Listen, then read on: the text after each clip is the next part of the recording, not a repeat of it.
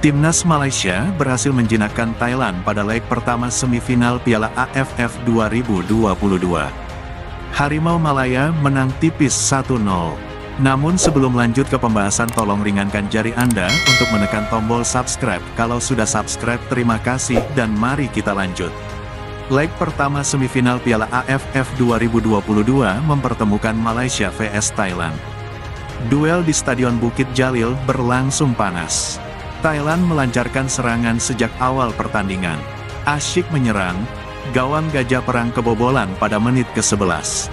Faisal Halim mencatatkan nama di papan skor. Pemain yang hari ini berulang tahun ke-25 itu menyambut masuk bola tandukan Ruventiran Vengadesan. Malaysia memimpin 1-0. Timnas Malaysia sempat menambah gol di babak kedua, namun akhirnya dianulir karena dianggap terjadi pelanggaran.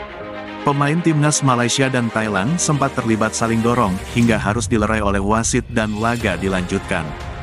Thailand berusaha mengejar ketertinggalan. Skor 1-0 untuk Malaysia bertahan hingga turun minum. Thailand tancap gas di awal babak kedua.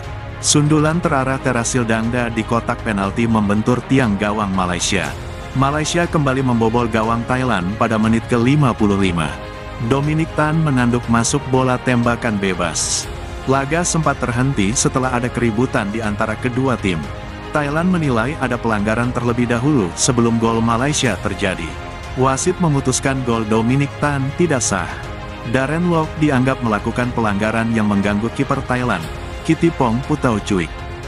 Thailand gagal menyamakan kedudukan hingga peluit panjang berbunyi. Laga tuntas untuk kemenangan Malaysia 1-0. Bagaimana menurut Anda? Terima kasih, sampai jumpa dan salam olahraga.